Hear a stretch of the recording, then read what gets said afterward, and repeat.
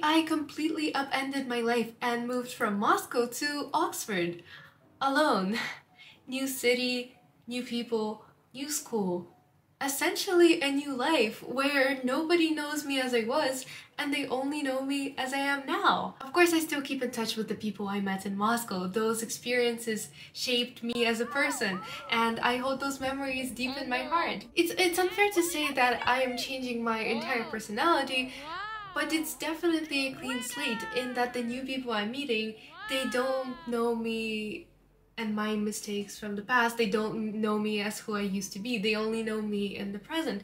And that is both terrifying and liberating. Terrifying because I miss my parents and my brother. Even though I call them every day, three times a day, even though we talk so much, I still miss them. And I miss my friends. But it's also liberating in that I know that I can do away with all those mistakes and things I regret doing and start and not repeat those mistakes and start and be the person that I wanted to be rather than change the person who I was and who everyone was used to. I know it's a little bit corny, but it's true. The moment you leave your parents, your family home, the place where you grew up with, the place where you were surrounded by people you love in a cozy, comfortable environment, things change. And I can tell that because I've been living in boarding here for a month and it's very different. And since you asked, I wanted to talk a little bit about that today and do this moving in vlog. I know it's not my usual bookish content, but I hope I won't bore you and let's talk a little bit about my life.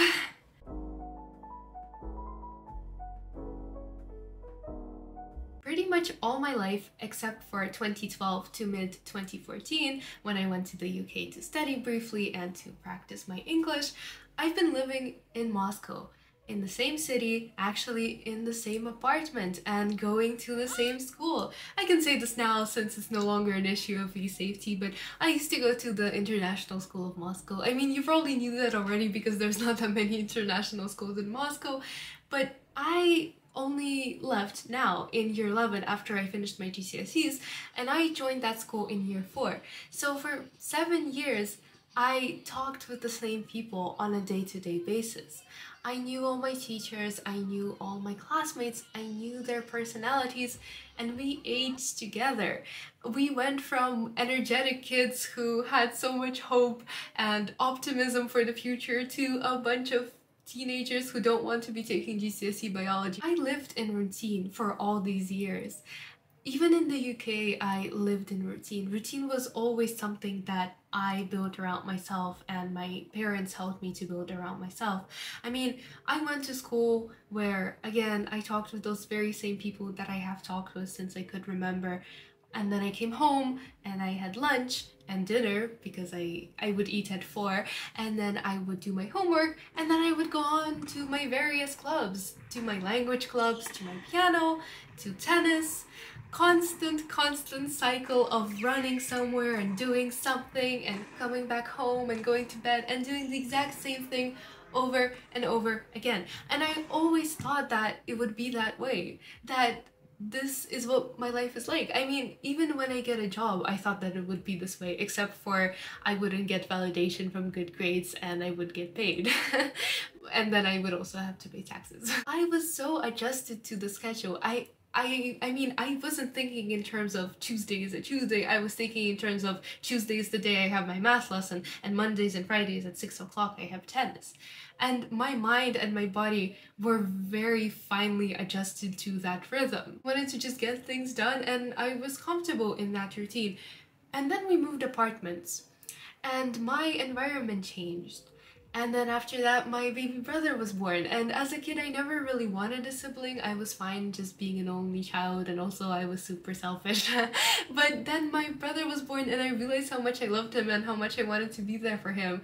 And it was a great change in my life, and I felt a lot happier since then. Since 2019, I felt much happier knowing that I wasn't alone in this big, scary adult world. And then COVID started. So these few years have been years of change, sometimes incremental, sometimes all at once, and it's been good and it's been bad, but mostly it has just been life. And you can always adjust your expectations. So that's what I did. And I applied last year, or beginning of this year to be exact, I don't know, to be honest, it's been a while, it's been hectic, I can't think right now. I applied to the top two most prestigious schools in the UK and it was just a leap of faith. Like, I didn't expect to get in. Who wants to take a random girl who's good at English, she has good grades, sure, but like she lives in Moscow, and how can you know that she'll contribute to their school environment?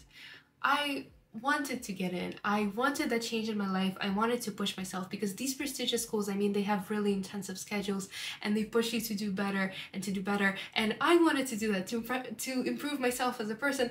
But I also figured if I don't get in, I'm living with my parents who I love very much. I'm living with my brother. I have my friends around me. I have an environment I'm comfortable in. So even if I don't get in, it's not the end of the world.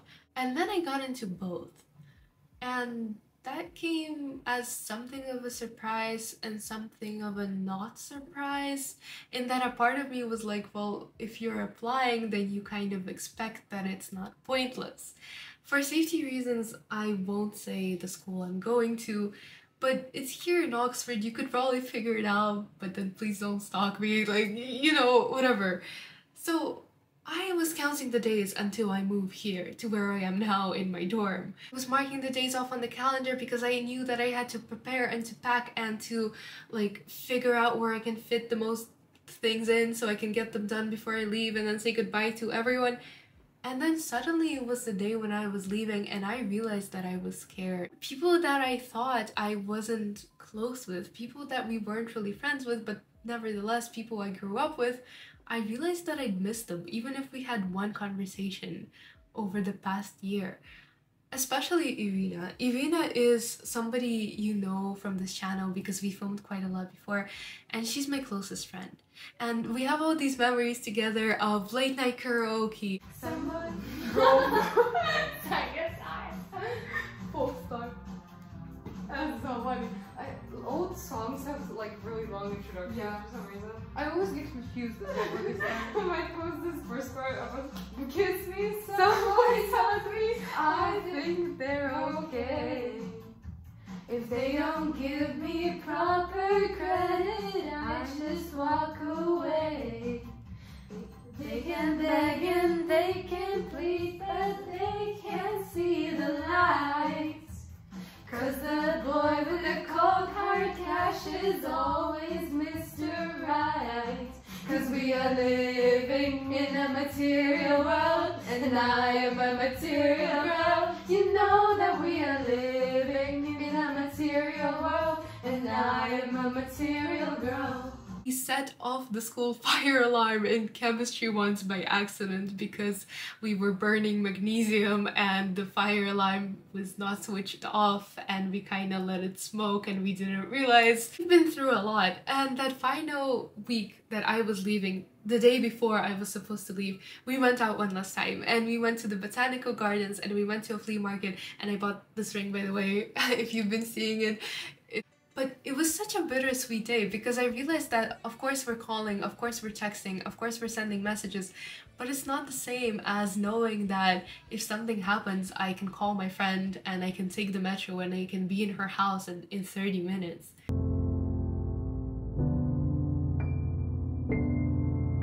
Russia has no direct flights anymore.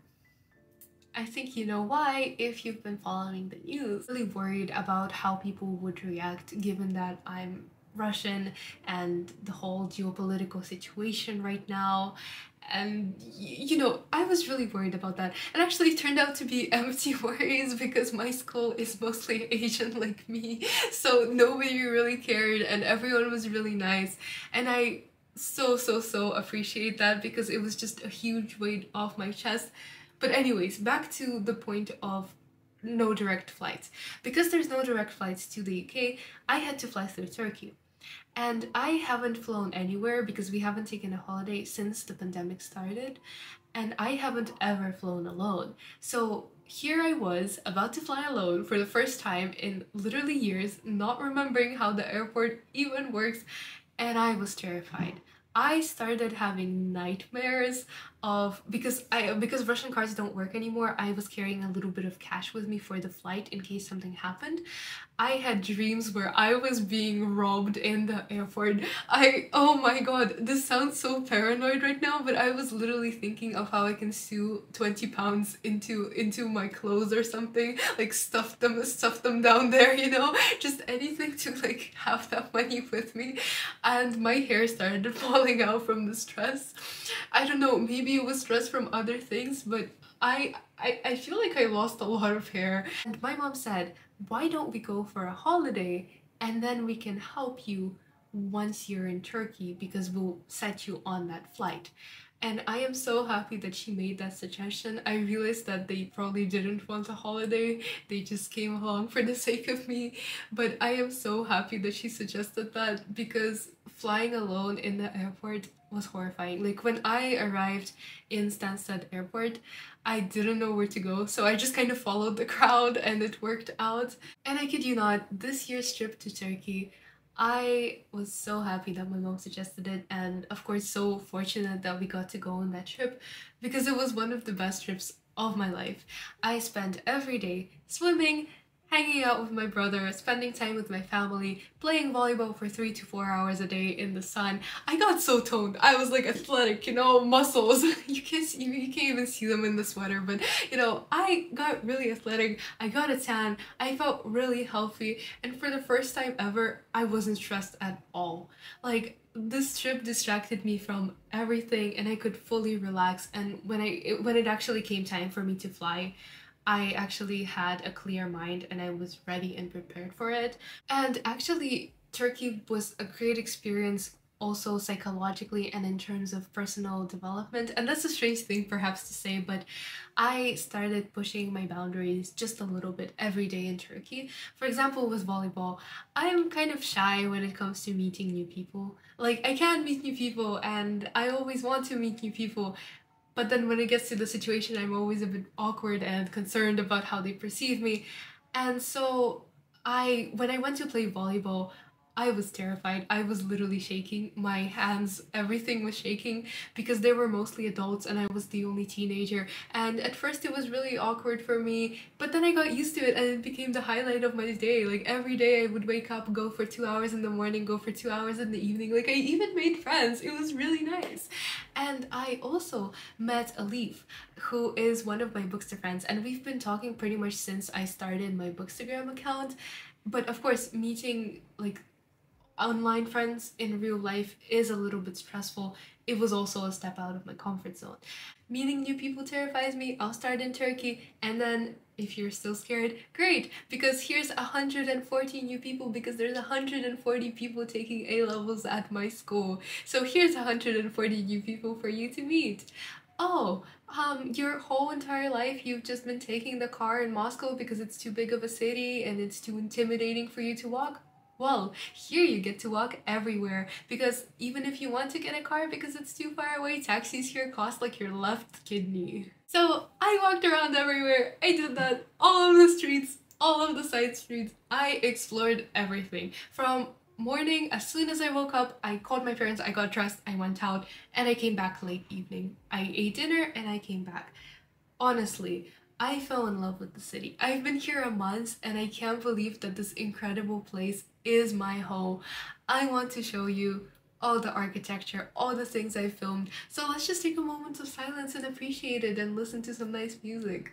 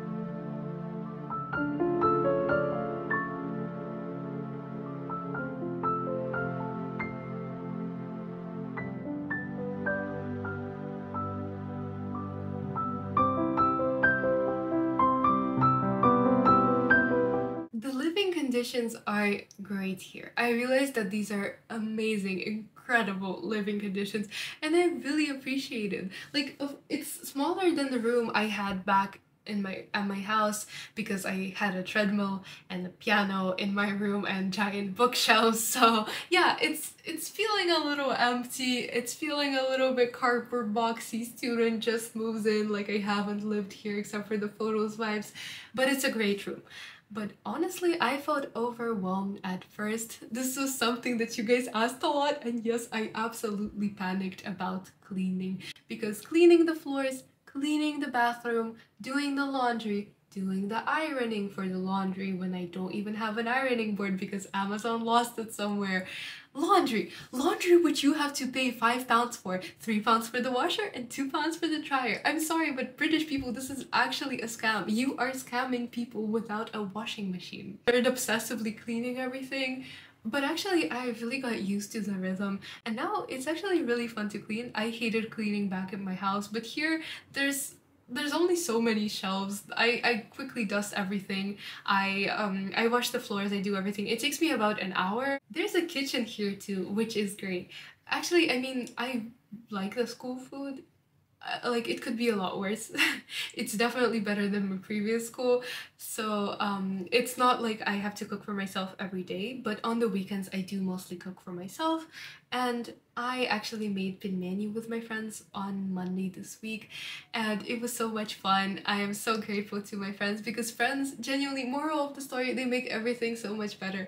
When I walked into my kitchen, my kitchen was a mess. It was a murder site. There was a red stain in the sink. It would not go away even if you like opened the tap and let the water run. No, you had to like properly scrub at it. There were crumbs. The window was open. There were flies next to the crumbs my neighbors were leaving trash in the kitchen and I got angry and I took out all the trash and I left a note saying if you leave trash you are trash I got angry and yeah it, it, was a little bit of a mean note but I definitely overreacted because the kitchen was horrifying. But my friends came over to help and I am so grateful. And we had a lot of fun and now the kitchen looks presentable. And yeah, I, I mean, everything just kind of sorted itself out, and now I love living in the storm even more. As much as I love living here, I wanted this to be a very honest experience. So there's a couple of issues. My old issue, it's for safety reasons, but the check-ins. So we have to be home by 10 p.m. That's fine. I'm not going out into the dark at 9.30 p.m. It's called paranoid and being a girl living alone. but um, I don't like that the checks are at 10. Actually, they start from 10 and they knock on your door. And the thing is, if I want to go to bed earlier than 10, I really can't because I have to wait for them to like check that I'm alive and then say, hi, I'm here. So I kind of get tired and I want to go to bed, but then I have to wait for them to check. Or like sometimes I would just fall asleep and then they'll knock and they'll wake me up. So it's a mild issue, but it's a little bit of an issue. Moscow is two hours ahead and considering that my parents and my language tutors are mostly still in Moscow, I it's very hard for me to arrange lessons. Either I have to wake up really early to have an early lesson in Moscow or I have to rush the moment that school ends to get back home so that we can have a lesson when it's not too late in Moscow. So that's a little bit stressful. Finally, the cost of everything. This isn't like a dorm issue, this is an England issue. I am so sorry to complain, but why is everything so expensive here? I went to H&M the other day and I was looking for a cardigan because it's really cold. Oh my god, the teachers here, they want 19 degrees for the for the like temperature of the room. No, that's so cold. In Russia, most people have it at 21, 20 to 22. 19 is I, I sit there and I'm freezing. So I wanted to go and get a cardigan and I went into H&M and the cardigan quality was so bad. It was it was so bad. It looked it looked like it was just a, a garbage bag and they just kind of like sewed it together. It was very bad quality and it cost 24 pounds. In Russia, the clothes at H&M even with the same quality or even with better quality, they do not cost more than the 8 pound equivalent in rubles. Bubble tea here is 5 times more expensive and that's a problem because I kind of have an addiction and I really want to have bubble tea at least one time per week so I save money to go and get it and it's so expensive so I was thinking I'll start making my own bubble tea or something because it's too much. Don't get me started on the cost of towels and cutlery and everything else here. And I started buying everything in bulk because it's cheaper that way. Like also in the summer I have to move out so I don't know what to do about that but we'll cross that bridge when we get to it. Another thing the books. So it's really magical to go to a bookstore here because the selection is so much bigger than in Moscow. Actually the very first weekend that I arrived I went to a bookstore straight away. I piled up the books that I wanted to get and then I looked at the price and I put all of them back and figured I'll just go to the library. Actually, I already have a library card, so that's great. But books here are insanely expensive. Again, maybe like two times, three times more expensive than in Moscow. And the price on textbooks here, are you really charging 50 pounds for a textbook? I mean, if I'm paying 50 pounds, there better be golden edges. okay, final complaints and then I'll talk about the good things some more. I mean, I just wanted this to be an honest conversation, so here it goes, the healthcare system. So I assume that if I get sick, I'm just gonna die here because hospitals close at 5.30 p.m. and I don't think I can schedule my illness to be before 5.30 p.m. So I guess if I get sick at 9 o'clock, I'm just gonna die. Or I have to wait all the way until 9 in the morning. So I think by that time I'll either be dead or cured and there won't be a problem, which is exactly what they're hoping for.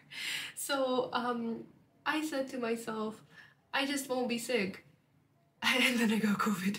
So, so, that didn't work out. So here's to hoping my immunity system is stronger now. And the second issue, uh, same thing with the shops. So I guess that if I'm hungry, I better not be hungry after 7.30 p.m. And that's honestly such a huge shock for me because most shops in, uh, in Moscow are open until 11 p.m. Hospitals are open 24-7 and you can order an ambulance and it won't cost you the, your entire life savings. So that is a very bad negative of living here in the UK. My other issue, and this is a personal issue, is that most places don't accept cash and I currently don't have a card. So it's a little bit tough when I go out with my friends because they have to pay for everything and then I give them back the money in cash. And they don't mind doing it, but I feel really awkward about it. But I know I said a lot of bad things, but there's so many good things too. I love that I meet new people every day, and I love that I can go on walks and enjoy this beautiful architecture for free. And I love that I can go on walks because the weather is nice. And I love that nobody stares at me when I speak in a language other than English because Oxford is such a diverse place. And I love the little markets and little shops and little stalls that are everywhere around Oxford. I went to this Korean place and I I had such a wholesome conversation with the Korean lady in Korean because obviously my dad is Korean and it was just such a nice thing and everybody here is genuinely so friendly and it makes my heart sing and actually love people and not mind going out and being in social situations. I love that they accept volunteers here and I signed up for two charities. One is a charity that helps elderly people and one is a charity that helps less fortunate uh, kids get an education. So I am so excited to get involved with that because in Russia you can't really help out unless you're 18. You can't even get a job unless you're 18. So there's just more opportunities here. I also adore the historical nature of Oxford and I can't get enough of all the universities, all the places, all the culture. I mean, it's insane. During Open Doors, I visited the same university that Alexander II stayed in, the same university Tolkien taught in. I visited the Bodleian libraries, no photo sadly, and I I saw books that were 600 years old. I saw the original dictionary that took Samuel 40 years to write. I I heard that they have the original Frankenstein text there. I mean, it was incredible to be surrounded by so much history, to walk these cobbled streets every day that generations of people before me have walked. So there's the good and there's the bad. But overall, I am so happy that I took this opportunity and that my parents helped me take this opportunity and they prepared me for this and that I'm here in Oxford. I hope you will continue to stick around as I will continue to read and to make bookish content both here and on Instagram. And I sincerely hope you enjoyed this vlog, even though it wasn't my usual bookish content. Also, if you have any tips for living alone, managing those household chores or cooking, please do let me know because I mean it's a first time and do share your experiences. So thank you so much for watching this video and see you soon.